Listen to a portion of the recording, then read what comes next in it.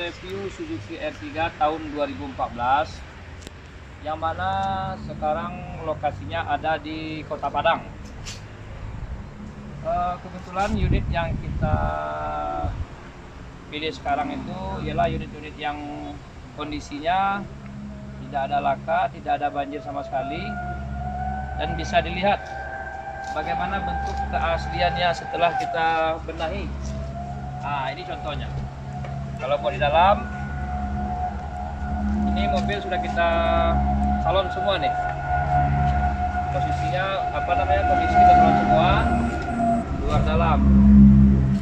Salon body, salon backlighting semuanya, jok-joknya juga dan bagian-bagian ban itu sudah kita benahi juga.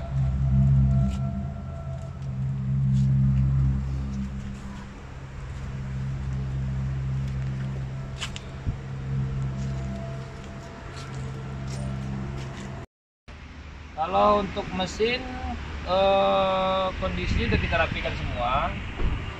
Eh, seperti oli, oli ini sudah kita ganti, sudah kita kuras. Kemudian sudah kita tune up, busi pun kita ganti. Eh, termasuk kaki-kaki mounting, mounting engine juga kita ganti. Eh, kemudian akinya baru Uh, jadi kalau untuk mesin itu udah nggak ada pembenahan lagi nih. Ya, kalau untuk mesin nggak ada pembenahan lagi. Udah kondisi uh, siap jalan. Kemudian untuk lampu dan semuanya ini udah kondisi bersih semua.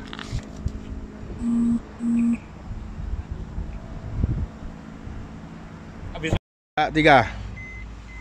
Kalau untuk bagian dalam eh, kondisinya sudah rapi, eh, seperti yang kita lihat sekarang ini nih, seperti dashboard itu rapi.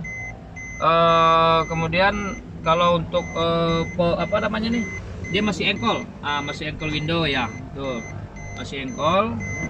Kalau untuk backlighting ini udah rapi, kalau untuk bagian-bagian jok segalanya itu kalau buat kondisinya itu cukup rapi, bersih. Ah, kalau untuk kilometer ini masih termasuk rendah, sat- 18 untuk kilometernya. Jadi mobil ini kalau ukuran taksi ini termasuk terawat mobilnya. Kalau ukuran taksi termasuk terawat.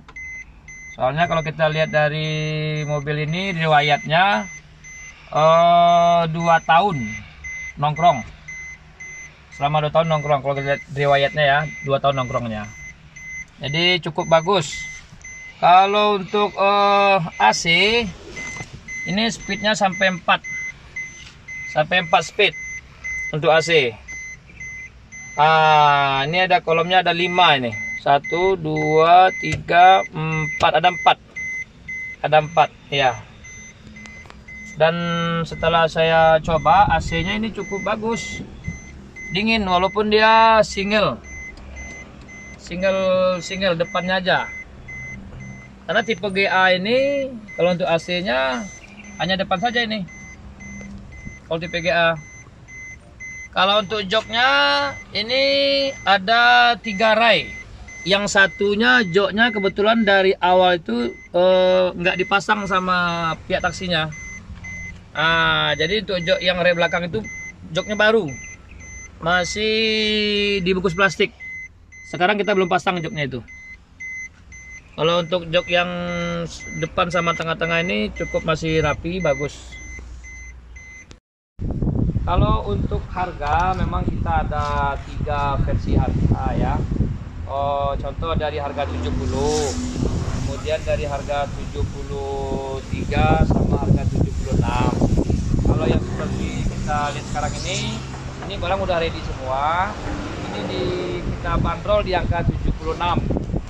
Nah, itu akinya baru, bannya kondisi 70%, olinya kita ganti, kita kuras, busi kita ganti. Kemudian AC kalau ada yang nggak dingin kita kasih freonnya. Lalu dalamnya kita salon, luar dalam. Kemudian kaki-kaki ini kita benahi. Kita benahi kaki-kakinya. Jadi intinya mobil yang nampak sekarang ini mobilnya udah siap ke luar kota tapi kalau mau lihat kondisi mobil yang harga 70 juga ada ini contoh. Ini harga 70 nah seperti ini harga 70 ini kita nggak ada pembenahan sama sekali. Ini nggak ada pembenahan sama sekali. Itu pun kita jualnya bukan satuan minimal tiga. Minimal tiga itu kita kasih bandrol di angka 70 tapi kalau mau umpamanya mau satuan juga bisa. Ini kita kasih di angka 73 tapi kita tidak ada perawatan pembenahan sama sekali. Itu di angka 73 kalau mau paketan bisa kita kasih di angka 70 juta itu ngambilnya 3 3 unit. Itu di angka 70 nah ini kondisinya seperti ini. Nah ini namanya masih bahan. Belum ada pembenahan sama sekali. Kayak bannya nah itu kondisi bannya kalau kayak uh, apa namanya akinya nggak ada ini contohnya kayak ini. Nah ini dia punya koper spion. Nah ini kan. Terus seperti ini. Nah ini kita nanti kita belikan lagi. Kita belikan lagi biar lagi. Kemudian aki kita ganti juga. Oli kita kuras dan luarnya kita salon. Ini yang harga 70 kalau ngambil uh, paketan per 3 unit kalau umpamanya mau ngambil satuan bisa. Itu yang kita bandrol di angka 73 Oke pemirsa yang mana tadi kita udah uraikan dari awal sampai akhirnya. Dan sekarang bagi pemirsa yang uh, minat yang ada ingin memiliki R3 2014 ini silahkan dihubungi nomor saya kontak saya yang ada di bawah ini atas nama tim DK Reset Doni Osmon. Nah, silakan hubungi nomor yang ada tertera di bawah ini. See you guys.